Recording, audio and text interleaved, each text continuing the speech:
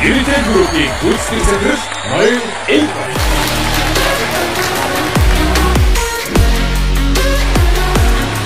Энхүү Эвэн Батрын гэр хороолол Ирвишний гайхамшиг дурлсан үйлчилгээ амжилттай хэвлээ.